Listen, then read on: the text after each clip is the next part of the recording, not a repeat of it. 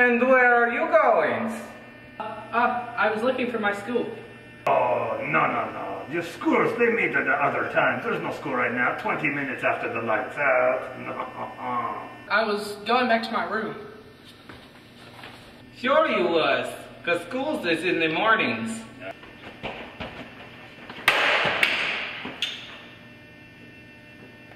Don't be trying to sneak out and tell us stories, man. Okay?